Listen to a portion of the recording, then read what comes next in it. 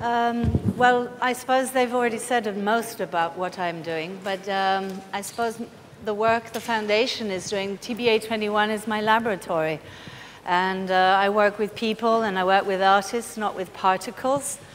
But they're just as uncontrolled one from the other. But the interesting thing about engaging in experiments is you never can fail. An experiment is just the process where our collective knowledge comes into a line of thought and working with different ever evolving ideas until you arrive at a result.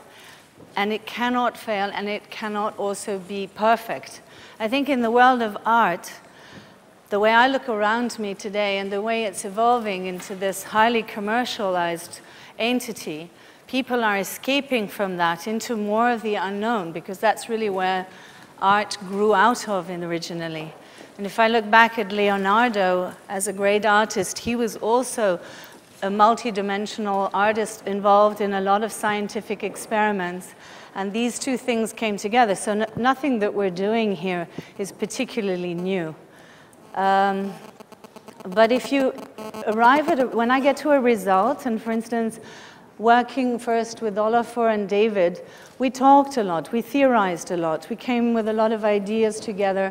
I had seen this amazing um, horizon line that he did in a beautiful exhibition in Reykjavik in Iceland. And I kept wanting to have this work installed in a different way because it was in a museum with four columns and it had an exit door and it, there was an emergency exit sign and somehow all of this although the work was very beautiful, it disturbed one's enjoyment of it. And uh, I met David Adjaye, and I really appreciated his sense of aesthetic. But having discussed trying to create a pavilion specially for this particular artwork, we came to a problem uh, at the Venice Biennial where the room that we had been allocated was changing. And I called both David and Olafur up and said, We have six weeks in which we have to create a pavilion and we have to build it, and we have to install it in Venice. And this was, I suppose, a bit of an experiment itself, because getting anything done in Italy is anyway an experiment. Uh, but uh, we managed it, we did it. And we didn't really have time to think about were we getting it right? Was it going to be perfect? Was it going to be a success? And I think that from my point of view, when I lost that target, I started to think, I realized that we were getting better, we were learning, because you just let go of trying to be right all the time. And taking the courage from experimentation and moving into this area, my job was to find a location for the, for the pavilion. And after being in Venice a couple of times, I landed on the island of San Lazzaro, which belongs to the Armenians. And they made a little space available to us, and we managed to build this pavilion just in time uh, for the opening of the Venice Biennial. And we were very happy about that, but we also realized, well, we hadn't had time to understand what that whole experiment had meant. And I got to the what's next, because that's the wonderful nature of the experiment, is that you realize this is a process. So the moment you come to a result, you want to go, what's next? And what's next for me was moving into Lopud, to an island in Croatia. And I wanted to integrate a third dimension into that, which was the landscape. I wanted to know, would this enhance the landscape? Would the landscape enhance the pavilion, the art project? Olafur's horizon line. We took the um, color of the light of Lopud in the sunsets and the sunrises there and reconfigured the horizon line into new colors and a new dimension in new life. And now you have to go to Dubrovnik and take a little boat and you have to walk through a field of olive trees, find a little path. It's not very well marked. And eventually you'll get to this pavilion and you enter it and you've taken your time to get there and therefore the appreciation of it includes the landscape. So that was another part of my experiment. And whilst we've been doing that for the last two years, I've been working with Matthew on an idea to create another pavilion.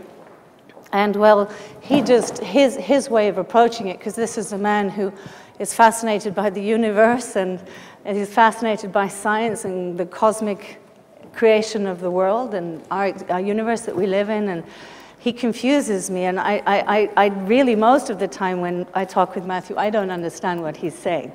And I love that because for me, learning and, and involving and diving deep into projects has been always more attractive to me when I really don't understand what it is I'm getting into. And so the, Matthew was the perfect partner for this next stage. And um, he will explain to you and show you in great detail his project, a model of which is here. But as you can see, it's lost the box, it's lost the architect, it has become the architecture. So the art and architecture dialogue is now sort of become even more organic or more refined in a way, more confused in another. And we're interpreting it now with an additional layer of what is performance and music. And now we're delving into this area of um, creating, working with musicians, working with movement dancers, choreographers. And this is just now another experiment for me. How to integrate these things, because like Leonardo, he was integrating all of the anatomy and dissections and the study of the body into his painting, but also how, you know, the creation of helicopters and architecture and all his other interests. So for me, again, this is a repetition of trying to bring new components into further experiments. Um, I've also worked with Christoph Schlingensief, and he's a performance artist in a way. He's a director, actually, of opera and theater, and uh, and he said to me, I want to be an artist. I said, okay, no problem, let's work on that idea.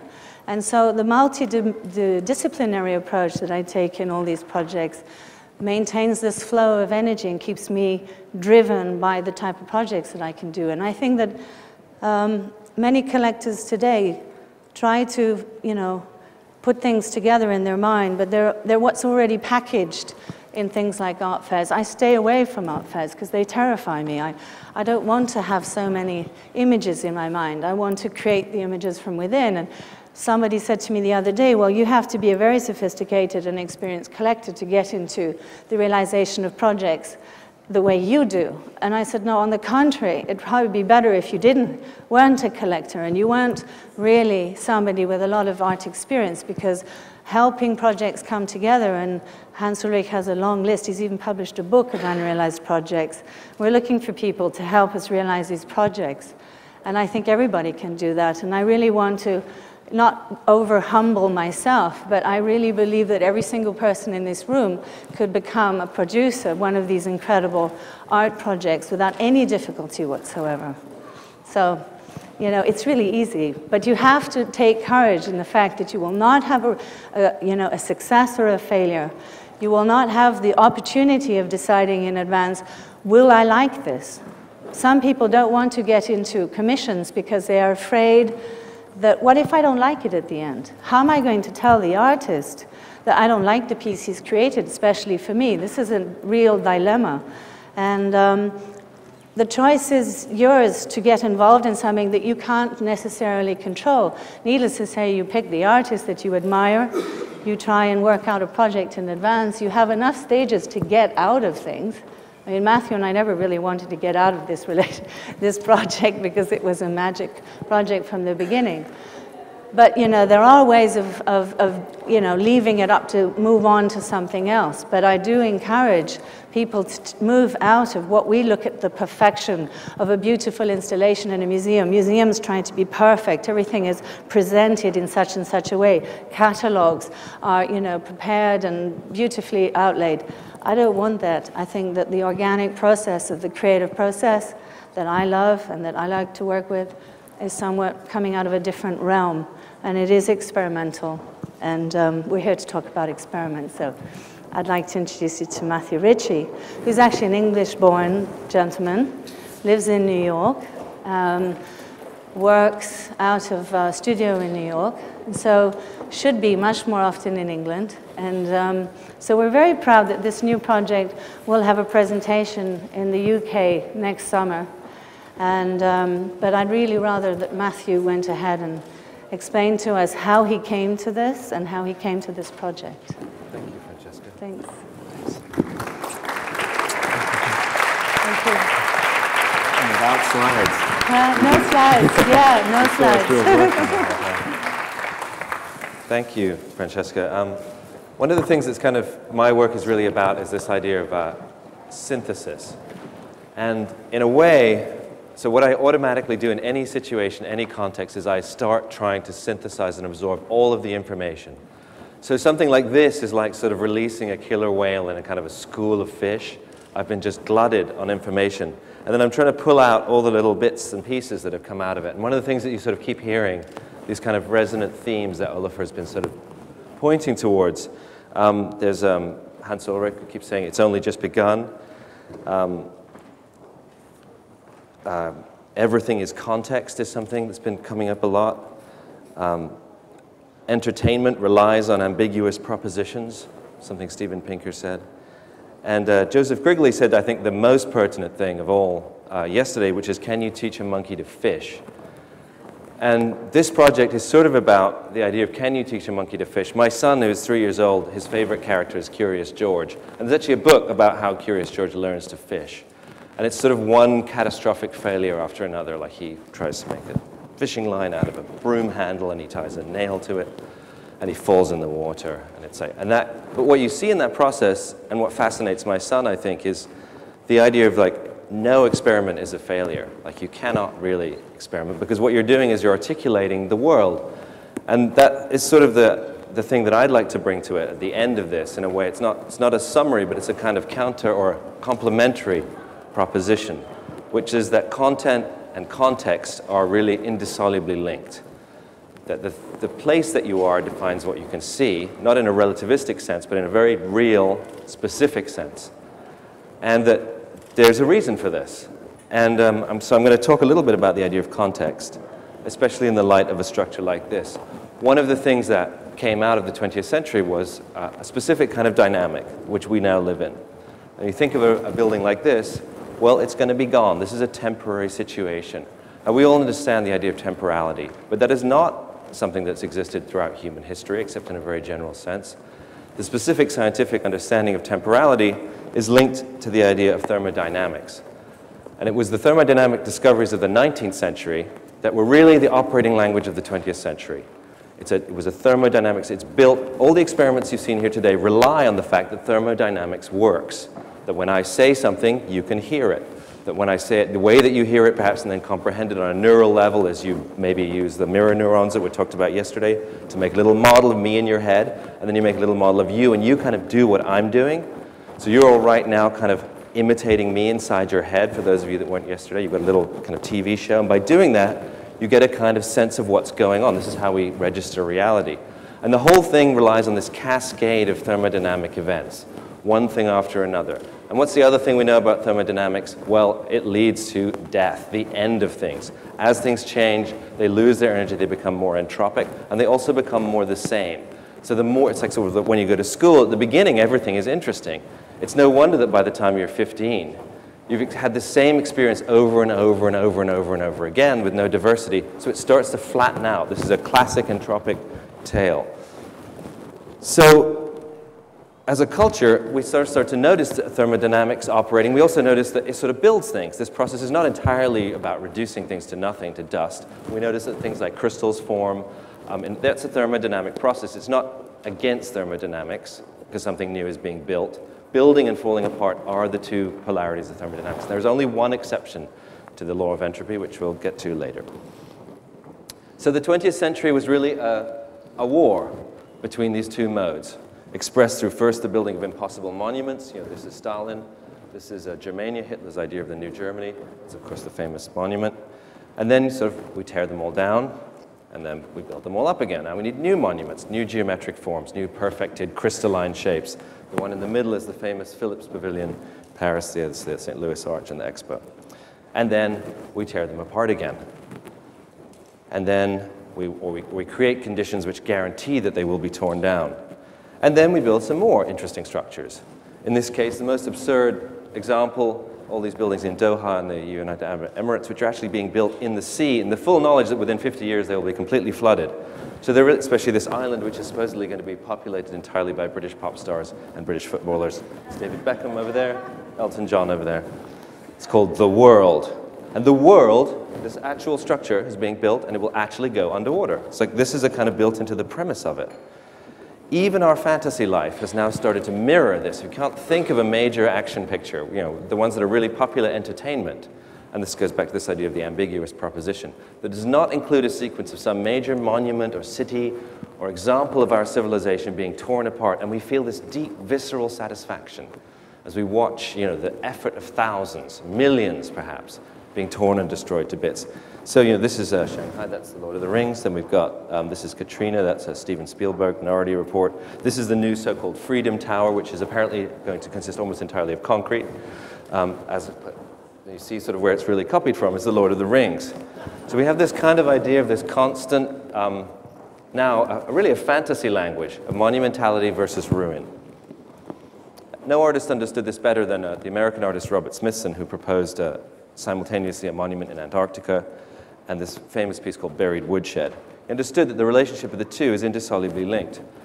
But really, although Smithson was perhaps the most famous American artist, and he to most sort of like coherently address entropy, it was understood at the beginning. It was understood as an inherent property of thermodynamics that, you know, that as Jarry, the, the surrealist poet, wrote, wrote, we shall not succeed in demolishing everything unless we demolish the ruins as well. And the only way I can see of doing that is to use them to put up a lot of fine, well-designed buildings. Um, in other words, we have enacted this term. It was understood at the beginning, and we spent an entire century working it out. And this note, these are sort of two classic examples. This is the Merzbau by Kurt Schwitters, and then, of course, the uh, reactor chamber at Chernobyl, which I think, for me, embodies the kind of inherent instability in the thermodynamic model as a kind of class of construction. Now, at the same time as that was going on through the 20th century, a parallel but not unrelated revolution was going on in physics. It started with the thermodynamics, and gradually it was all being taken apart as well. So you start with this very nice thing we all know about the universe. Look up, see the night sky. And the night sky we think of as some sort of, it builds, it builds stars are being made all the time, so we can see it in the real world. Like here's the real world, there's birds, sort of, now we see perhaps something that's a little more familiar to us as a kind of image of entropy. It's like birds scattering across a, a plane. We see change in motion. Then we get down to the sort of more molecular level. These are screw diagrams of molecules. we get down to the plasma, where we see, ah, yeah, right down in the, the atomic chamber, the plasma is venting particles, great thermodynamics. And then something a little bit strange, once you start to look a little more closely, starts to happen, is there's a directionality in all of this. These structures have a, a twist, a little kink, and it keeps them moving forward. And we start to go, why, why do they always move forward? Why can't they move backwards? And we start to address the subject of time, which Neil Turok talked about. And then we get down inside the particles, and we find that that category is even more weird, because particles don't really obey the laws of time or the laws of thermodynamics. They do something entirely different. Everything in this room is simultaneously a thermodynamic event and a quantum event. And these two worlds are like the sort of strangest married couple in history. They don't really, they've never talked to each other, but somehow they manage to pay the mortgage and send the kids to school and build a house, and they do all sorts of things, but they never really bridge this gap. No one really knows how things get from being quantum, which is a state of indeterminacy, to being real. But we know that the quantum world exists because we keep, we're able to find it with our telescopes and our computers. We keep noticing it everywhere. So we've got this very strange instability starts to emerge in the middle of the 20th century, um, based on this is a sub-diagram of how that works. And at the end of the 20th century, we reach where we are sort of now, this moment where we begin to be able to change that. This is a diagram of something called quantum state holography, where we're able to create unstable quantum states and keep them there. And when we can do that, we can see that there's actually not one fixed level of reality. So this has gone from being a completely speculative thought to something that can actually be repeated in the laboratory. We can make quantum states, and we can make them choose what they want to be. Can, they can be all kinds of things. So this thing that's generating the universe that we would like to think is this very ordered procession of thermodynamic events. Crystals grow, things fall apart. It's not like that at all. Underneath, there's another game working where everything can change. Everything can read everything else. In this party, everybody knows everybody. Everybody is friends with everyone. Everyone can become everyone. So this is the model that um, most people think about today as the universe. So it starts with the Big Bang. It's a quantum event. Then it generates the anisotropic uh, sky. It's the microwave radiation. That's the sort of green bit.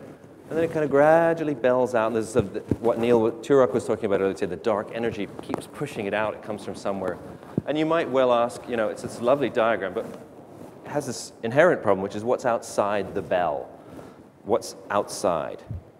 In other words, what is extrinsic and what is intrinsic. And these two terms, extrinsic and intrinsic, are really kind of the basis of the project that I'm going to talk about. Because this moment of intrinsicness and extrinsicness per permeates every layer of the universe. So at that quantum moment of indecision, where two things begin to change from one to another, there's this possibility of multiple futures. This, was something, this is a different way of think, talking about what Neil talked about. When you have multiple futures, you begin to generate what we could call an imaginative space, which is where an artist can begin to work.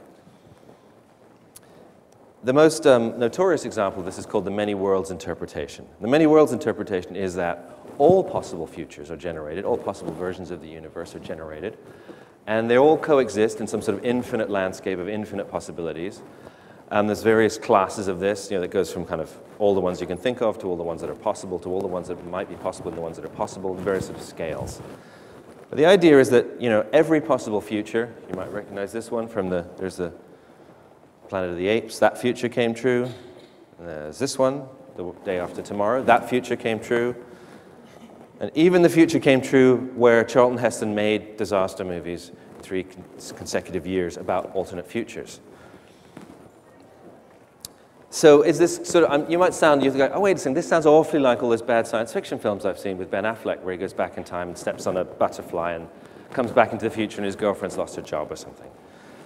But it's generally accepted as this, sort of one of these spurious sort of pieces of information that you get to throw up in a lecture from some sort of unnamed source that guarantees the veracity of what I'm saying. But everything that I'm saying is true. This is just, or, or believed to be true. Lots of physicists now believe the many worlds interpretation is, is really a plausible alternative. So how do we move past that into the 21st century? So we're sort of stuck with we've got the thermodynamic world and then this crazy quantum world where not only is everything possible, everything actually happens. Everything happens. And what they, where they come together is this idea that energy and matter and information are the same thing. This is where it starts to get real again. And what does this mean? You know, we say oh, everything is information. You know, this table is information. Well, that's fine. You know, everything's information. It's kind of one of those great slogans. You can print it on your T-shirt. But what it means is that if you can read something, you can make it causal. You can make it do something. And that is, becomes this question of information equals causality. You have to unlock information for it to have meaning. And that gets back for an artist the idea of like, what is an artist doing if not taking physical matter and unlocking the potential information inside it? What I do is I take things that have no value and I turn them into something that has a legible language. It becomes a language. And there's a word, a very big word I'm going to use later called semiosographics. I'm going to say it now because when you hear it later, you'll, what the hell was that? So these are the, and this is a fundamental shift in our culture, and I feel that we're inside the kind of structure. It's the kind of place where we're going to be able to look at those things like a great big telescope. So we have these two sets of dualities of the 20th century that are very commonplace, you know, representation and abstraction, space and time, monument and ruin. And then the 21st century, these things are going to all change. They're all going to become complementary. And the operating language of the 21st century will be built out of these complementarities, which is content and moment, content being the information latent in a situation, moment being your experience of that information. We have information and causality, you know, being the same thing mirrored. And finally, this concept of intrinsic structure, which means that everything is the universe. If you say the universe is a number, that number is one. Everything is a fraction of that one. It has to always add up to one. There's not one plus a bit extra. That's what universe means, uni. So we're in that thing. We're a block of information, a block of information that moves through space and time by re recognizing itself and advancing itself forward. Now, this has a, this obviously leads one sort of, it's, very, it's a bit of a mind bender. You're like, where is it? If it's not, if it's here and everywhere, what's the edge? How do we define the edge of the universe? Uh, this is an old, old, old, old question. This is you know, Kepler's first attempts to sort of nest it in a series of solids. And yet, what's amazing about this is that on an intuitive level, Kepler was kind of right. The universe is a kind of mathematical, it is closed in a, in a mathematical sense. This boundary, this is the anisotropic survey again of the microwave radiation, there's no real edge to this boundary. It's a representation of what we can see. And beyond what we can see, we can't see. That's what we've learned through looking at, through our telescopes. We just can't get there. We suspect that either the universe is so big that we can never ever reach the so-called edge of the time, or something else is going on, which is where my interest gets triggered again. So a lot of suggestions about this. The soccer ball universe looks remarkably like Kepler's universe. We've got dark matter and dark energy there, pushing it apart. In the dark, they're doing something else very weird. They're, they're here, no one can find it. It's like sort of having the burglar, you know, in the horror film, where you go through all the rooms in the house, and then the phone rings. It's like, your number. That's what dark matter's like. and we've got the 10 or 26, which is the one that uh, Neil was talking about being folded up inside a little tiny ball where all the, the, at, the, uh, the extra dimensions are right here too, but they're underneath your chairs. All these are resolved in something called M theory. But still, there's a kind of question like, how does this, this thing we're talking about, this recursion, this self recognition occur inside a closed volume? And it comes across something that I think Neil's going to talk about in more technical terms, something called the holographic principle, which is this idea that the universe, and all of this is, all of this stuff, everything I'm talking about is supposed to end up in this structure. So it's, it's not an, I'm not leading you around just along a garden path. Every single part of this is, is considered by this structure. It's basically the idea that you have a black hole, and black holes are infin infinitely sucking in everything, but they're really small. So where does it go? It doesn't go into a pipe or a door, or all of these things involve conjuring up some magical solution where everything gets sent away far away and comes back again through some other white hole, because you can't really violate the idea that the universe is inherently linked. Oh dear. See, that's the end.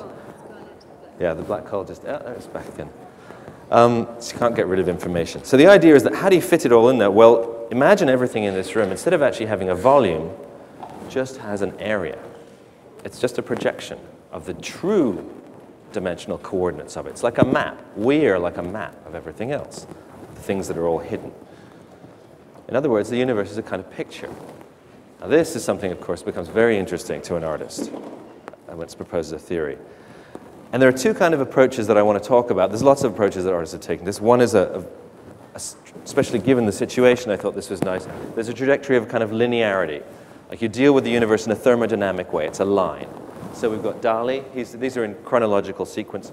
He made this painting of himself, uh, painting a picture while a cat leapt through the air in a glass of water. Picasso saw it, wanted to copy it, so he made some drawing with light. Jackson Pollock saw those pictures. This is all very well documented, and so I've got to be better than Picasso because I'm also bald, but I'm now American, so therefore I'll do something bigger. Then Richard Serra, who was American and wanted to beat Pollock, said, well, I will do it out of lead, wearing a mask. And then here we have Matthew Barney and the Serpentine, sort of taking this idea of this trajectory of this line drawn in space. It's, a, it's the artist as athlete, the artist as a physical manifestation of the universe. Then we have this other model of artistic practice, which is to do more with the idea of sort of recursion or, or creating a space where the person who comes into it becomes a kind of uh, a sense memory of all of the experience. So here we have Robert Smithson, that's Yayoi Kusama, that's Dan Graham, and there's uh, Olafur Eliasson. Do honor to him for his extraordinary structure.